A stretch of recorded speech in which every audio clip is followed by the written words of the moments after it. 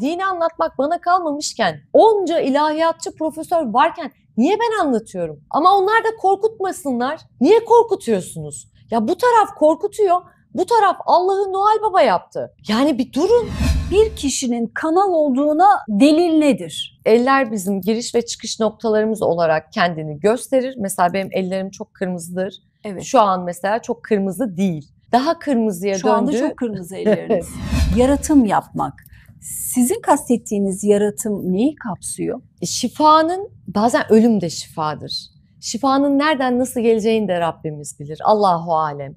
Fakat Şafi ismini çekerek ölümü de çağırabilir mi kişi? şifanın her hali gelir. Bütün alemin yaratıcısı Yüce Allah'ken ben onun arkasından, onun gösterdiği her şeyden yolda yürümekle mükellefken, her şeyi o yaratmışken ben ekstra bir şey yaratabilir miyim? Efendim merhabalar. Sosyolog yazar Sibel Uzun bizimle birlikte. İyi olacaksın. Işığın şifa yolu.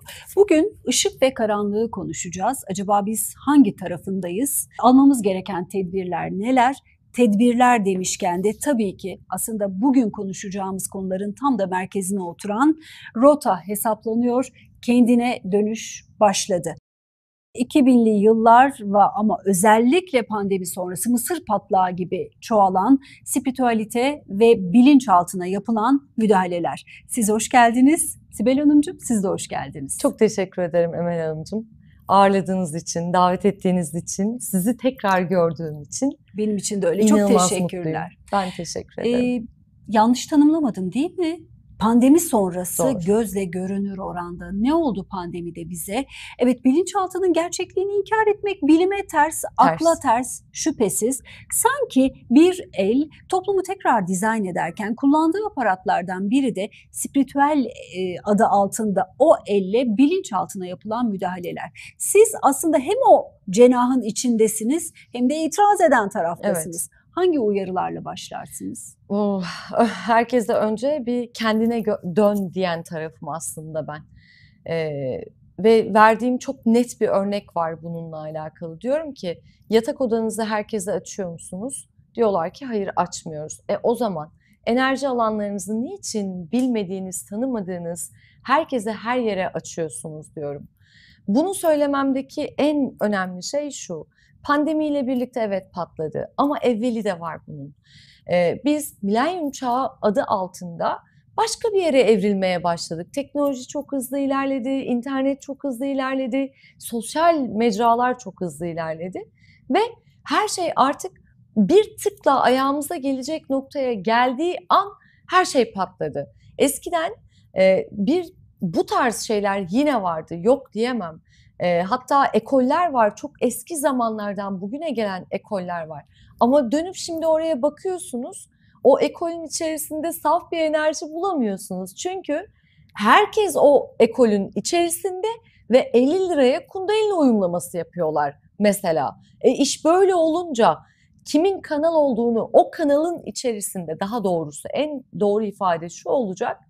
O kanalın içerisinde kimin kanalcık cık cık cık cık cık cık olduğunu nereden biliyorsunuz?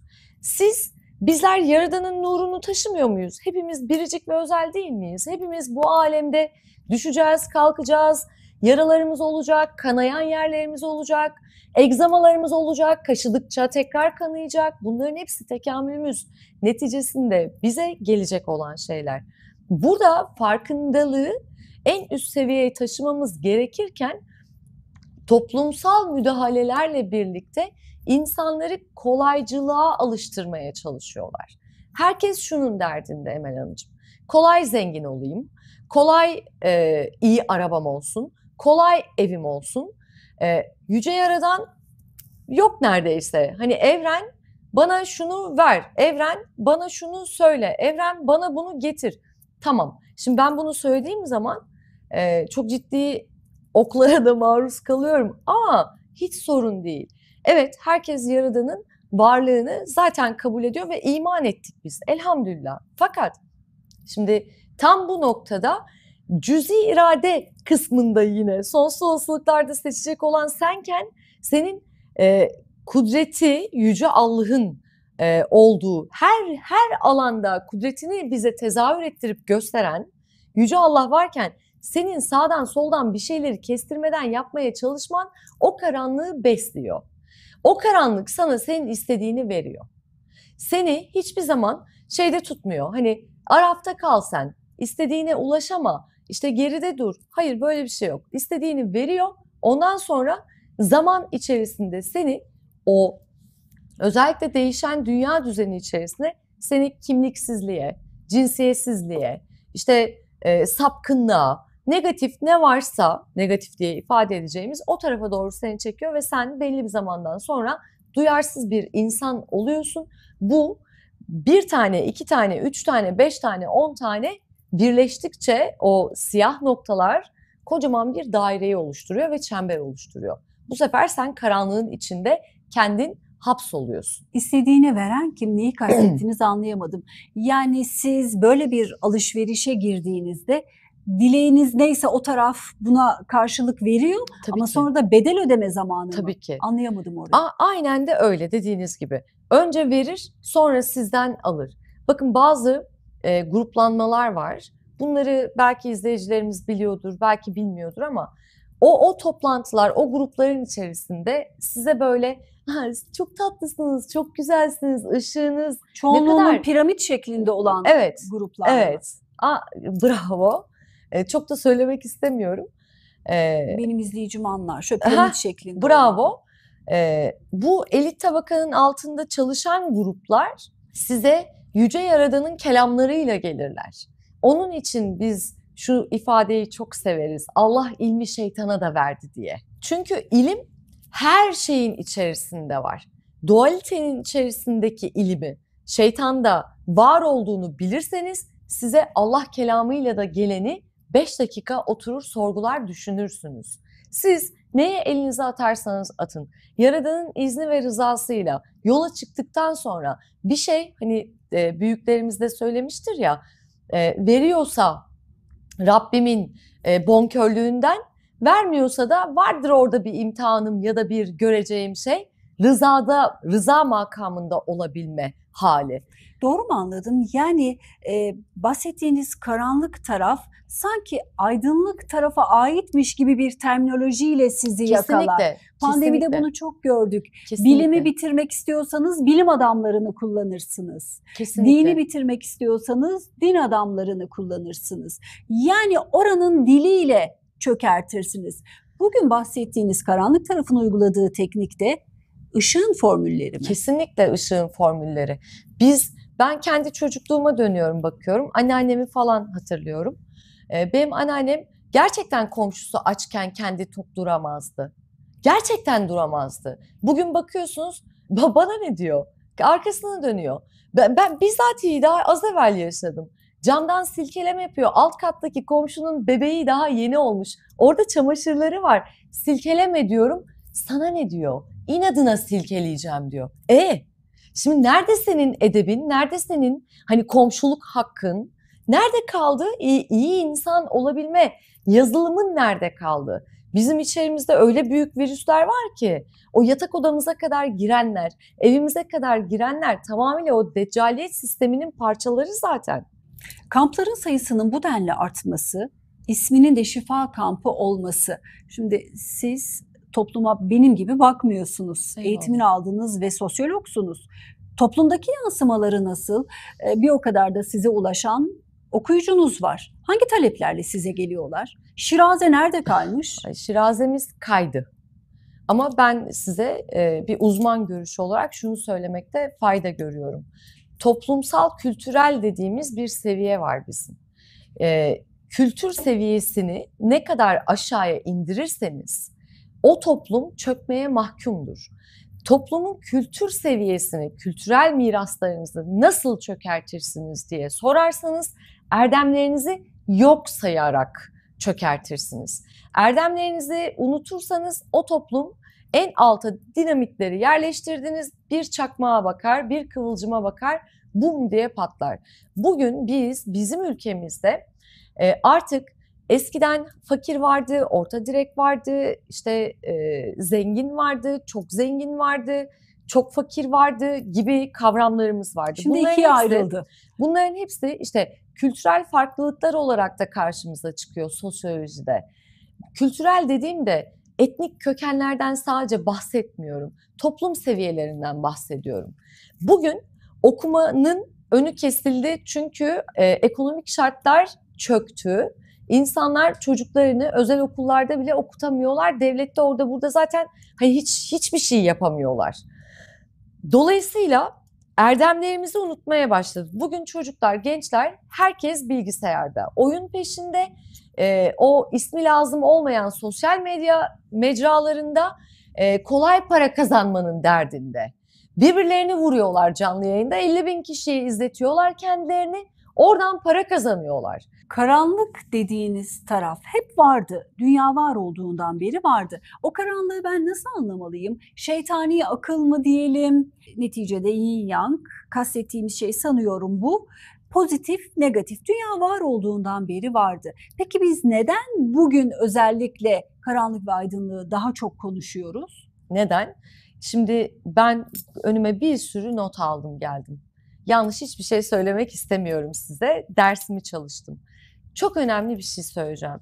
İçsel ve dışsal eğer kendimizi e, okumaya çalışırsak işin rahmani boyutunu yani batini boyutunu ve zahiri boyutunu çözeceğiz. İçsel boyut bize batını verirken, batini boyutun tüm detaylarını verirken bize diyor ki insan karanlığı sayesinde ay, aydınlığın kıymetini biliyor diyor. Yani hak diyor ki bak sen erdemlerini yok sayarsan sen içindeki nurunu karartacaksın, beni yok edeceksin kendinde diyor. Sen iç, hep deriz ya tünelin sonundaki ışık, karanlığın işte karanlık tünelden yürüdüğünde eninde sonunda ışığa ulaşacaksın. Karanlığın içinde de ışık var. Zaten bunu unutma. Ama sen eğer bencilsen, gaflet içindeysen, e, vicdansızca davranıyorsan işte bil ki batıni olarak karanlıktasın. başından beri eleştiri getirmeye çalıştığımız spiritüalite adı altında yapılan e, sahte işler.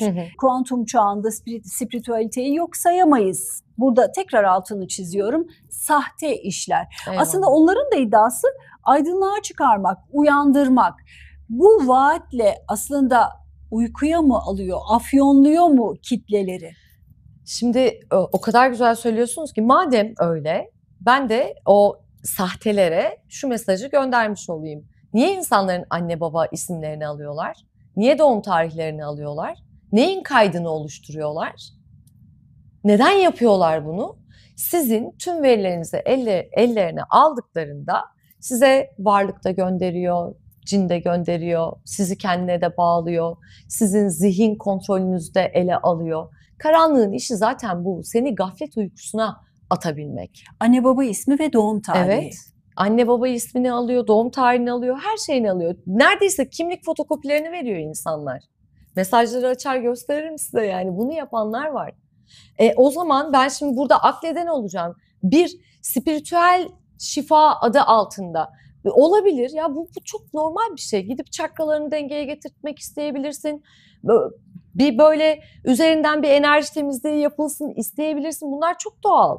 Talep edebilirsin bunu. E tamam hadi gittin. E niye alıyor senin bu kadar bilgini?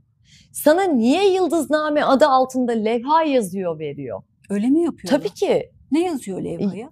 artık bağlama büyüsünden tut da kendine e, aşık etmeden tut da e, bana kul köle olsundan tut da aklına ne geliyorsa yazıyorlar.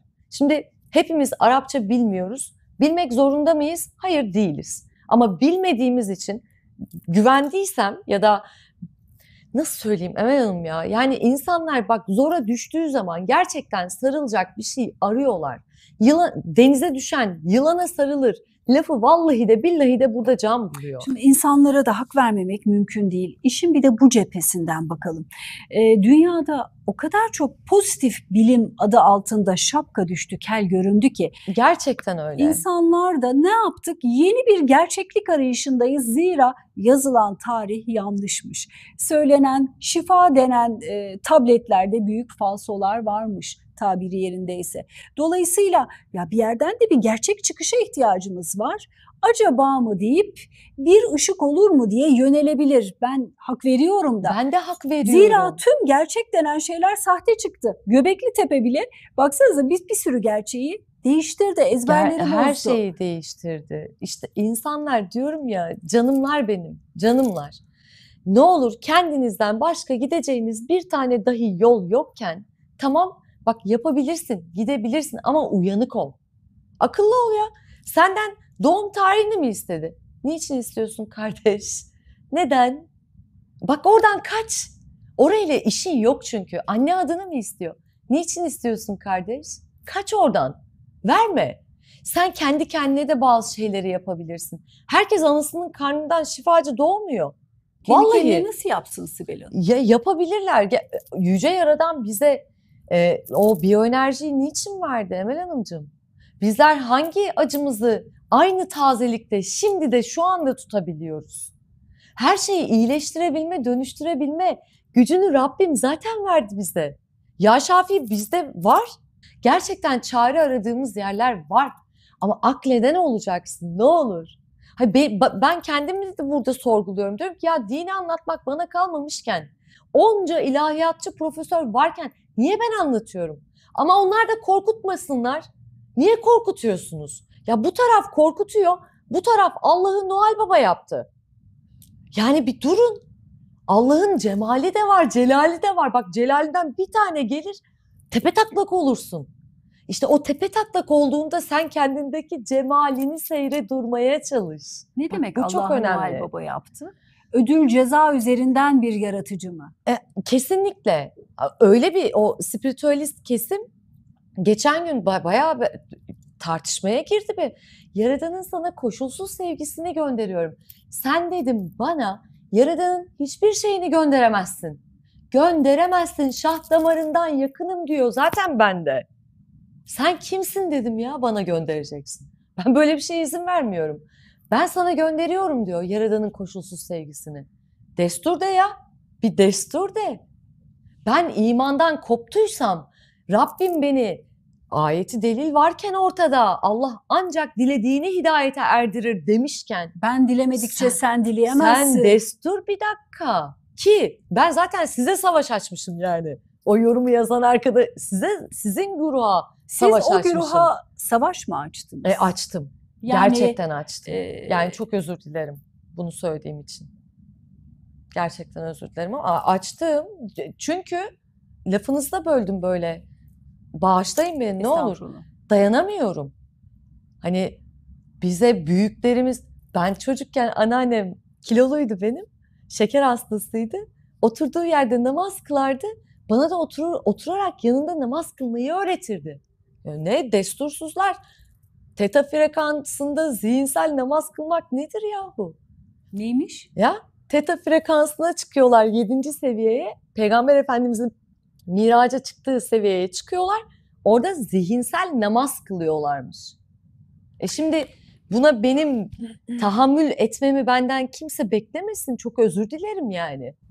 Burada tabii ayrı bir denetleme mekanizması da gerekiyor galiba. Hani tek başına Sibel Uzun'un e, böyle bir akımla baş edebilmesi çok kolay değil sanıyorum. Ayrı bir denetleme mekanizması şart. Ben size şunu soracağım. Sahiden anlamadığım için son dönemde çok duyduğum bir ifade.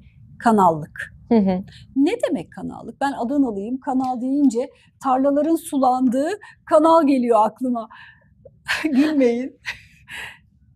Ne demek kanallık? Gerçekten bilmiyorum. Estağfurullah. Şimdi size şöyle izah etmek istiyorum izninizle. Bir ana kaynak dediğimiz sistem var. Bu Evet. ana kaynağı lütfen güneş olarak düşünün. Güneş her zaman parıldar ve o oradan gerçekten güneşten şifa akar. Yaradanın nurunu, şifasını, evrensel akan tüm ışığı nur olarak, güneş olarak imgelerseniz, düşünürseniz oradan akan şifadır. Bu kanal, şimdi güneş tam bir ana merkez. Yani yazılımın, e, bilgisayarın hard diski diyeyim.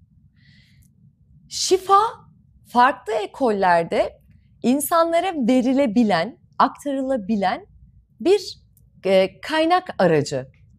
Bu kaynak aracını ana kaynaktan çekip e, şey gibi de düşünebilirsiniz. Saf elektriği düşünün. Saf elektriği trafoya getirmeden, trafolardan da e, gerekli kanallara ka, ayrıştırmadan, dağıtmadan direkt olarak eve bağlarsanız saf elektriği bütün evin eşyasını yakarsınız. Ama trafolar kullanırsanız hiçbir şey olmaz. Gayet kolay her şey yerlerine O güçlü yerleşir. enerjiyi Evet. imbikten geçiren. Evet. O güçlü enerji, ana kaynaktan aldığı enerjiyi bu herkese verilen bir şey değildir. Bu da Yüce Yaradan'ın e, ilmi Lütfu. hazine, evet lütfudur. O ilmi hazineden düşen hediyedir. E, siz trafo olduğunuzu fark ettiğiniz an o dağıtımı yapabilen olmaya başlarsınız. Bunu da oturup ders kitaplarında öğrenemezsiniz. Ders Bu kitaplarında, ilahi bir evet, lütuftur. Bu ilahi bir Ya vardır ya yoktur. Peki Kesinlikle. bu çok fazla kanal olduğu için bir kişinin kanal olduğuna delil nedir? Elindeki şimdi eller bizim giriş ve çıkış noktalarımız olarak kendini gösterir. Mesela benim ellerim çok kırmızıdır. Evet. Şu an mesela çok kırmızı değil. Bundan Yok, daha kırmızı. daha kırmızıya Şu anda çok kırmızı elleriniz. e, avuç içlerim beyaza döner şuralar ve etrafı daha da kırmızıya çevrilir. Buralar giriş ve çıkış noktaları olarak enerjinin e, ana kapılarıdır, merkez noktalarıdır. Enerjiyi direkt olarak karşınızdaki kişi uzaktan da verdiğinizde o enerjiyi karşınızdaki kişi alır zaten. Hisseder. Diyeceksiniz ki her işte kanalım diyene getir bana avucunu ellerin içini gösterme diyeceksiniz. Hayır. Avuç içiniz gerçekten çok Evet. kırmızı. Gerçekten kırmızı. Sinancığım rica etsem yakın girer miyiz? Bir sağlık problemi Hayır, olup yok. olmadığını kontrol Tabii ettirdiniz tabii mi? yok gayet sağlıklıyım. Bu bir belirti diyorsunuz. Evet bu bir belirti. Bunlar e, aslında çok kırmızı da değil şu anda. Bunlar daha da kırmızı oluyor. Bildiğiniz arkadaki duvar rengine, perdenin rengine dönüşüyor. Bildiğiniz kan yani kırmızıya siz dönüyor. kanal mısınız? Ben kanalım demeyeyim ama bir şifa yeteneğim var. Ben Bir- de bilmeden sordum kusura bakmayın. Estağfurullah. O enerjiyi kullanabilme, yönlen- yönlendirebilme yeteneğim var. Dolayısıyla burada dikkat edilmesi gereken şey şu. Biz kimseye mesela şunu söylemeyiz. Gel seni şifalayayım, gel seni şuraya götüreyim, gel sana bunu yapayım diye ifademiz olmaz. Zaten o kişiyle bizim yolumuz birleşecekse, kesişecekse sebepler dahilinde kesişir. Ona göre de adım atarız. Haricinde kanal içinden kanalcık olmak dediğim şey bugün size bir ekol adını kullanarak 50 liraya, 100 liraya, 200 liraya gel senin kundalini uyandıracağım diyorsa, seni şu kanala bağlayacağım diyorsa işte orada bilin ki orada kanal yok. Çünkü bir kanal, enerji kanalı sana bunu asla teklif etmez, asla söylemez. Seni buraya şöyle bağlayacağım demez. Onun için dikkat etmek lazım. Bu sizin elinizde kanallık diye eşleştirdiğimiz şey size özgü mü yoksa hani mesela Anadolu'da ne denir? Ee, el aldım denir. E, Eyvallah. bu el alınarak ilerlenen bir silsile, ha, bir anneannelerimiz seceresi var mı bunun? Var tabii ki. Anneannelerimiz, büyüklerimiz, babaannelerimiz hala Anadolu kadınlarının ellerinde, ocaklı kadınların ellerinde bunları çok rahat görebilirsiniz. böyle olan hanımların ya da bu özellikteki insanların beraberinde başka ataçlanmış ne yetenekleri vardır? Bir sürü yetenekleri oluyor Emel Hanımcığım. Yani e, sadece şifaya aracılık etmiyorlar. Kimisi sözcü oluyor, kimisi çalışan oluyor, kimisi etrafını uyaran oluyor, kimisi e, maden işçisi oluyor. Yani her şey oluyor. Madenden kastım bildiğiniz maden değil. E, aşağıdaki cevherleri ortaya çıkarabilen oluyor. E, görünen e, kısmın görünmeyen kısmında en çok işi oluyor ki aslında işte spiritüelliğin gerçek adı öteki alemciliktir. O öteki alemciliği de çok doğru yakalamak, doğru anlamak gerekiyor. O kazı işine takıldım. Nereden ne kazıyor? Karanlıktan aydınlığa çıkması gerekenleri kazıyorlar. cevherleri kazıyorlar. Çünkü karanlık öyle ki insanları negatife aldığında orayı da şöyle düşünmenizi isterim. Ucu bucağı olmayan karanlık bir alan. Her yerde korkuluk çıtaları var ve insanların eterik bedenleri, diğer astral bedenleri orada askılara asılıyor. İnsanlar da bunu burada negatif e, depresyon, atağı, baş, yine psikolojik rahatsızlıklar olarak e, düşünebiliyor. Hani o bahsettiğiniz e, ben zihnimde canlandırmayı öyle yaptım. Mızraklar var. Hı hı. Mızraklara takılmış hı hı. eterik bedenleri temizliyorum dediniz. Hı hı. Doğru mu anladım? Sadece ben değil. Çoğu e, gerçekten gerçek gerçekten öteki aleme gayretle çalışanlar ilahi olanın tüm yasalarının farkında olup durması gereken yeri gerçekten hakikatle bilenler bunu yapıyorlar. E şimdi bana o kadar ürkütücü geliyor ki Sibel Hanım. Hani girdiğiniz karanlık bir yerden bahsediyorsunuz değil mi? Hı hı. Evet evet. Girdiğiniz... Geri oradan girdiğiniz gibi çıkabiliyor musunuz? Çıkıyoruz elhamdülillah ve biz arkamızı sırtımızı her türlü Rabbimize yaslamışız. Ondan gelecek olan her şeye amenna demişiz bize bir yol açtıysa, bu yolda ilerleyeceksin dediyse hak kelamı anlatmaya çalışıyoruz. Onun anlattığının ya da Kur'an-ı Kerim dışında var olan hiçbir şeyi insanlara dayatmıyoruz. Ben e, burada o kadar çok şeye tanık oluyorum ki Müslüman, Müslümanın yolunu açması gerekirken Yahudi geliyor burada Müslümanın önünü açmaya çalışıyor. Kendi dinine çekerek yapıyor bunu. Şimdi e, burada da ben akletmez misin deyip ona göre de Kim yolumu yapıyor? yapıyorlar işte o üçgenler her türlü her şeyi hmm. yapıyorlar ve o üçgenlerin şifacıları da çok fazla, spiritüalistleri de çok fazla. Bu e, Türkiye'de e, kendi başını almış giden o kadar çok ekol var ki bakıyorsun Kur'an-ı Kerim kaynağı, kaynağı var mı derininde inen herhangi bir şey var mı bakıyorsun temelinde yok. E o zaman sen bana yedinci seviyeyi dayatamazsın. Yedinci seviyede Allah'la bir oluyorum, yaratım yapıyorum diyemezsin.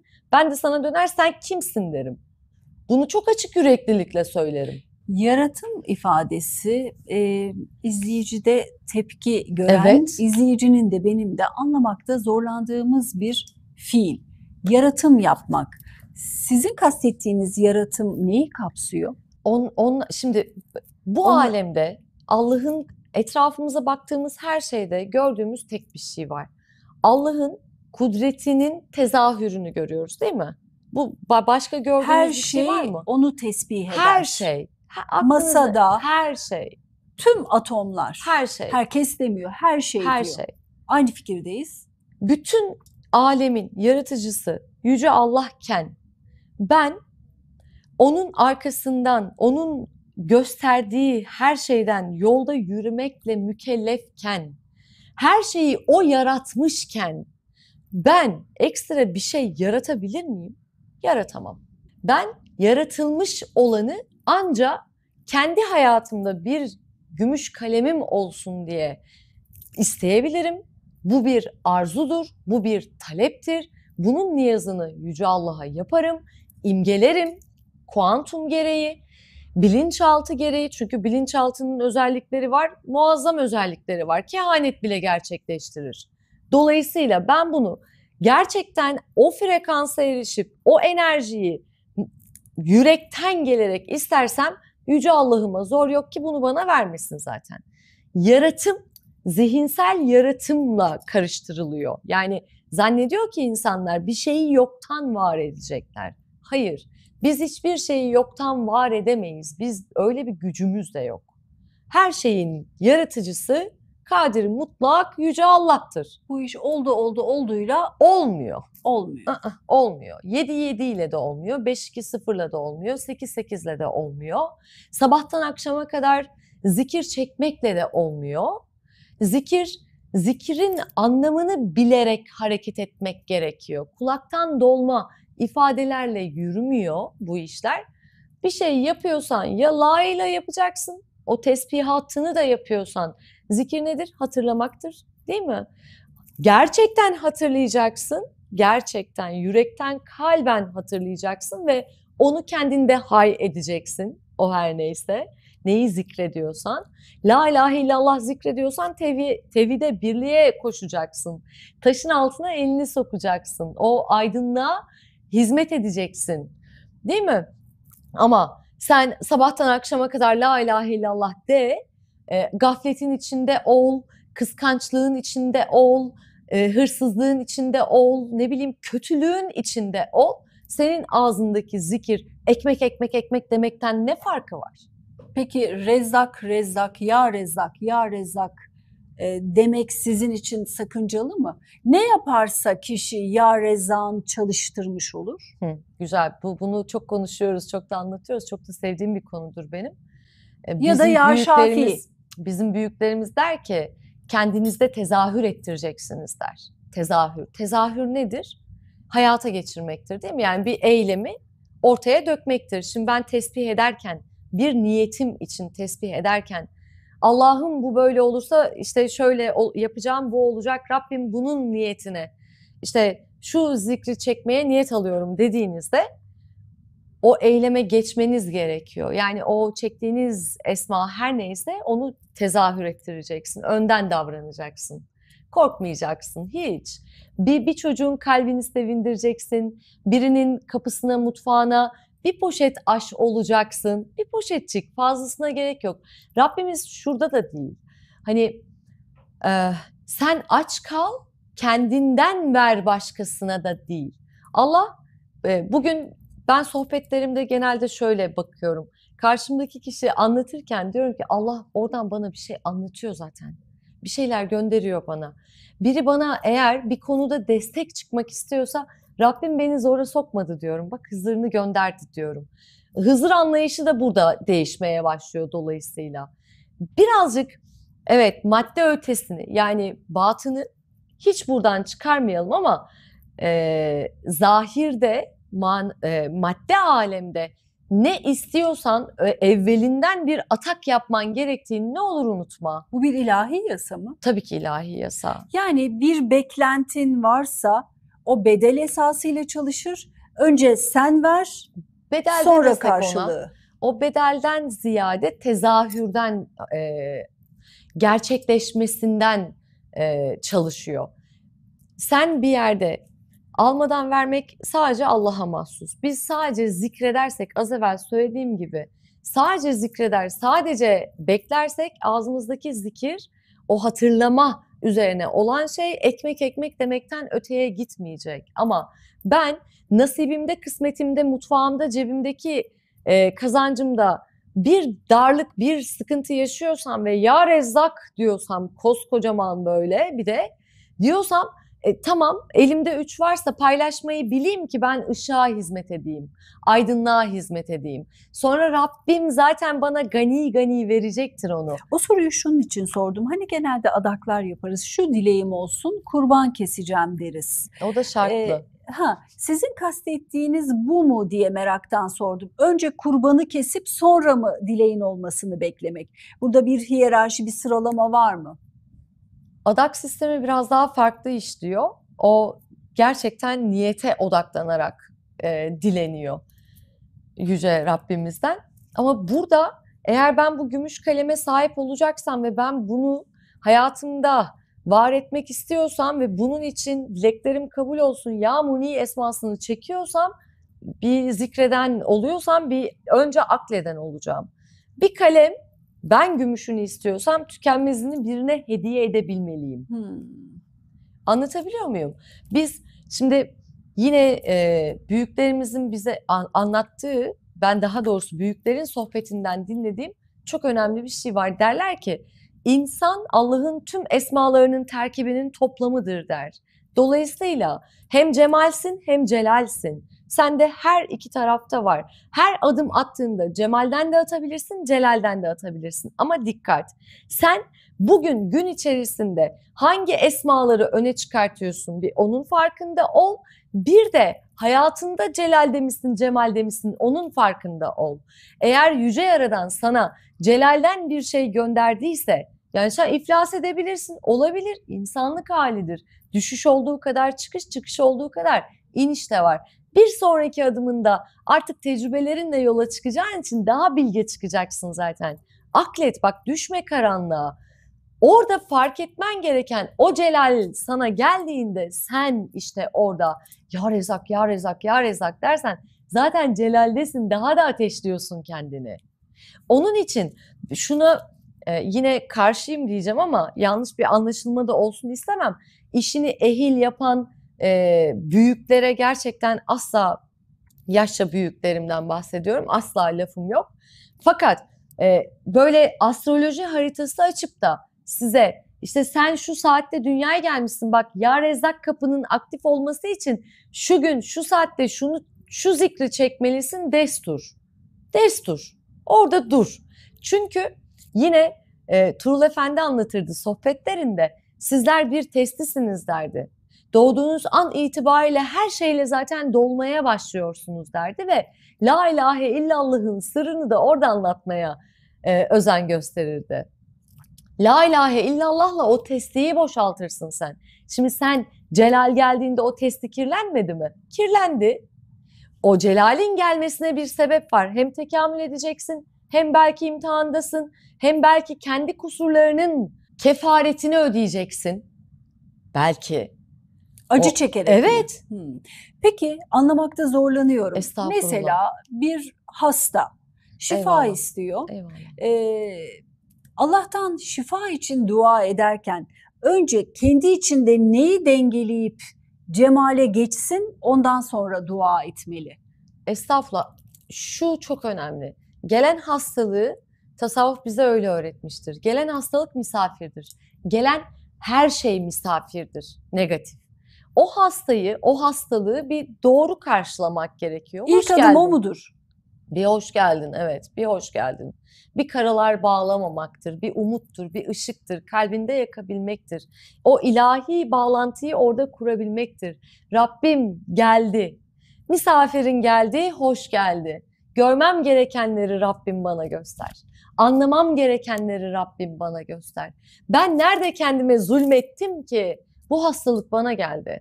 Çünkü düşüncelerimizle kendimizi hasta edebildiğimiz için o potansiyele sahip varlıklarız. E, o zaman geleni geldiği haliyle kabul edip içindeki hayra odaklanıp içini dışını sağını solunu her tarafını ya nur ya Rabbil Alemin dediğinde ya şafi ya kafi ya mani dediğinde ne gelebilir sana daha ondan geriye?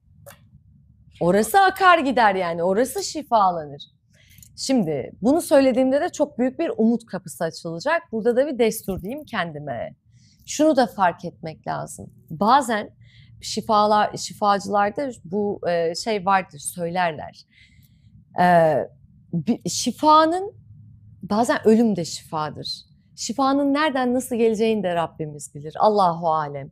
Fakat bazen yıkıntılar, kırıntılar, o düşüşler, o hastalıklar az evvel söylediğim gibi bugüne kadar işlediğimiz bilmeden, bilerek, kasten, düşünmeyerek yaptığımız ne varsa onlara kefaret de gelebilir. Şafii ismini çekerek ölümü de çağırabilir mi kişi? Şifanın her hali gelir. Yani bazen ölüm şifadır dediniz. Şifanın her hali gelir. Orada kadiri mutlak insana e, ana kader planında ölümünü ne verdiyse onu yaşayacaktır. Aksi yoktur ama yine büyüklerin söylediğinden dua kaderi değiştirir derler. Duayla e, orada bir arınma yapılabilir.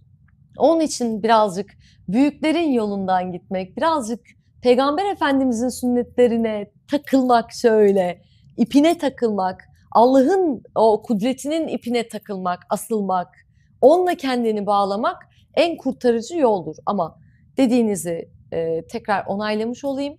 Şifa bazen ölümdür. İnsanlar bazen onu da davet ederler. O zaman çok dikkat etmek lazım. Esma konusu bir defa hani gerçekten ben bizim ağzımızda çok büyük hadsizlik olarak görüyorum. Yani e, önce bir mürşidi kamil olman lazım ki bir bireye bir esma verebilesin. Hani az evvel dedim ya Emel Hanım e, şu an yaşadığın durumun Cemal Celal olduğunu bilmiyorsun. Bilmiyorsun. Celal gelmiştir ama içinde öyle bir cemal vardır ki sana öyle bir güneş doğdurur ki aman tanrım yaşadığın bütün kötülükleri unutursun. Ama cemalin içindesindir öyle bir celal gönderir ki sana eyvah dersin nasıl düştüm Rabbim ben bu tuzağa. Halil Necipoğlu anlatmıştı bir gün cuma e, mesajını yayınlarken çok da hoşuma gitmişti hafızama kazındı. Diyor ki vakti zamanda kısa yol diyor. Vakti zamanda adamın biri diyor Allah'a öyle dua ediyor ki diyor zenginlik için. Allah'ım beni öyle zengin et ki diyor. Neye elimi atsam tuttuğum altın olsun diyor. Ve Allah o ki ya diyor duasını kabul ediyor diyor. Adam neye elini atsa her şey altına dönüşü veriyor diyor. Evlatlarıyla artık arasına mesafe koymak zorunda kaldı. Evlatlarına dokunursa evlatları da elden gidecekti. Birinci derece yakınları da gidecekti ve etrafında koruma ordusuyla dolaşmaya başlamıştı diyor. Ve bir gün kızı diyor öyle büyük baba hasretiyle gitti babasına sarıldı ki diyor korumaları yırtıp geçti ve kızı diyor altından bir heykele dönüştü diyor. Oturmuş ondan sonra secdeye kapanmış. Rabbim Rabbim ben nasıl dua edeceğimi bilmezken ağzından yanlış bir dua çıktı. En doğrusunu, en hayırlısını senden istemek gerekiyormuş. Rabbim evladım altına dönüştü. Rabbim beni sen kurtar bu işten. Tövbe estağfirullah el azim. Tövbe estağfirullah el azim. Tövbe estağfirullah el azim dediği anda kızı tekrar can bulmuş. Şimdi düşünmek gerekiyor değil mi? Bak kalbim attı. İnan kalbim attı. Ne olur ya. Hani ah düşmeyin o esma tuzağına da. Büyüklerin peşinden gidin ne olursunuz. Alim bu, bu şu an zamanın alimleri var etrafımızdalar. Ne Nasıl dua görün. etmek lazım o zaman? Ee, tabii e, madde insan e, dolayısıyla maddi şeylere de meyyal. Evet. E, sağlık da maddi evet. bir şey aslında evet. bakarsanız. E, duayı nasıl yapacak? Burada edebi de aşmadan, sizin ortaya koyduğunuz tuzaklara da düşmeden ne diyelim? Ben bilmem sen bilirsin en doğrusunu ver mi diyelim? Nedir doğrusu? Ben nasıl dua ediyorum? Ben kendimden yola çıkarak söyleyeyim. Ben anlatırken de derim ki genelde ya eşinle, sevgilinle kavga ediyorsun ya da bir arkadaşınla tartışıyorsun, küsüyorsun. Hatalı olduğunu fark ettiğinde ya da kalbin onsuz olmak istemediğinde dönüp gidiyorsun. Bin bir tatlılık yapıyorsun, şirinlik yapıyorsun, özür diliyorsun. Şimdi niye korkarsın ki? Kes kafanı kalbine. Kes kafayı ya. indir ya. in ya. Kalbine in. Rabbim Rabbim ben geldim. Rabbim Rabbim ben geldim. Vur kapıyı ya korkma. Korkma korkma duyuyor. Fısıltıyla da söylesen duyuyor. Gümbür gümbür de söylesen duyuyor. Bir damla gözyaşın aksa da görüyor. Bin bir damla gözyaşın aksa da görüyor. İçinden geldiği gibi dök bakayım sen kendini. Seni senden daha iyi biliyor. Yaptığın her hatayı biliyor. İzin veren Rabbimiz. Gösteren Rabbimiz. Sen fark ettin mi? Tiki aldın bak. Hoppa yürüyeceksin. Oraya dön bak. Hmm, İyileş. hatalarına o zaman uzunca süre sarılması ve orada kendini dövmesi de ilahi ha. gücün istemediği bir şey mi? Tabii ki. İster mi? Kadir mutlak hepimiz parlayalım istemiş, hepimiz akleden olalım istemiş. Onca Kur'an, Kur'an'ın içerisindeki onca sure, o onca ayet aklet diye geliyor sana, fark et diye geliyor. E o zaman sen pırıl zaten aydınlığında parlaman gerekiyor senin. Yani yine teşbihte hata olmasın ne olur. Madem onun zerresinin bir parçasıyız, bizim kötü olabilme gibi bir şansımız olabilir mi? Olamaz. Rabbimiz kötü değil bir defa. E o zaman her şey onun parçası değil mi? E, o zaman döneceksin, dolaşacaksın, yolu kendinden kendine çevireceksin. Sen ne yapıyorsun? Ama e, Celal yani karanlık tarafta onun parçası. Onun Do- nasıl... e, dualite işte karanlığa aydıra, aydınlığa çevirebilmen için içindeki aydınlığın, o iç, kalbindeki nurun kandilini ateşlemen gerekiyor. Ki müşriklerden olmayasın. Karanlığa, gaflete düşmeyesin. Tek dişi kalmış canavar seni yakalamasın. Şu Arz anda- edebildim mi bilmiyorum ama. Estağfurullah gayet güzel anlattınız. Peki şu anda e, bilimin sorgulandığı işte beraberinde spiritüalitenin öne çıktığı tüm dünyada sadece ülkemizde değil ülkemizde bir tık daha fazla öyle dönemlerden geçiyoruz. Bir fizik kuralı pik yapar tekrar Evet. başa döner. Bu kendi içerisinde açılarak katmanlarıyla birlikte kirli tozlu taraflar ayıklanacak mı yoksa orada da bir yok oluş kaçınılmaz mı? Bunu global anlamda soruyorsunuz global, değil mi? tabii, tabii. Dünya anlamında Tabii, tabii, tabii, tabii. soruyorsunuz. Biz 2025 yılıyla 2025 yılı itibaren Allah nasip ederse tamamlanmaya doğru dünya tamamlanmaya doğru gidecek. Nerede tamamlanacak?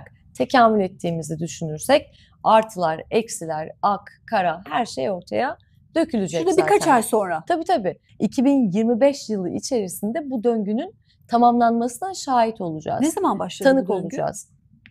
9 yıl geriye giderseniz e, 9 2016. yıl geriden başlıyor. Doğrudur. 2016'dan bu yana zaten döngü tamamlama üzerine ilerliyoruz. Biz bu verileri nasıl elde ediyoruz? Gerek astrolojik veriler, gerek numerolojik veriler, gerek e, tüm geçişlerle birlikte, ay tutulmasıdır, güneş tutulmasıdır, tüm geçişlerle birlikte bunların açılarına göre yorumlar yapılıyor, ortaya konuluyor yapılan hesaplamalarla. Keza yine büyüklerimizin İbn Arabi gibi onların bırakmış olduğu kitaplardaki bazı hesaplamalar yapılarak, Kur'an-ı Kerim içerisindeki bazı sureler, bazı ayetler içerisinde çözümlemeler yapılarak bu gibi ifadelere başvurabiliyoruz. Kahin değiliz. Onu çok açıkça söylememde fayda var. Analitik zeka ve matematik üzerine gidiyor iş burada. Nitekim 2025'te neye direnenler yeni çağa adım atamayacak? neye- 2025'e kadar neyde direnenler yeni çağa adım atanlardan olamayacak? özellikle nefsani duygularının içerisinde kalanlar, para hırsı olanlar, işte e, mal hırsı, mülk hırsı, Ben- en iyi benim, ben yaptım, benim, bana ait, gördün mü? Ya da kaos çıkartanlar bunların hepsi tıkır tıkır elenmeye başlayacak. Bir de karanlık olup aydınlık yüze bürünenler dökülmeye başlayacak. Bu çok önemli. En sevdiğim tarafı da belki de bu olsa gerek böyle tatlış tatlış olup da aslında nasıl karanlık oldukları ortaya çıkacak. İşte Devrin müşrikleri mi? bir kesinlikle ay ne güzel söylediniz Emel Hanımcığım ya. Allah razı olsun sizden. Gerçekten devrim müşrikleri. Gerçekten öyleler. Rabbim onlardan bizi korusun. Gerçekten korusun. Biz biliyoruz ki aydınlık ne olursa olsun o karanlığın inadına kazanacak.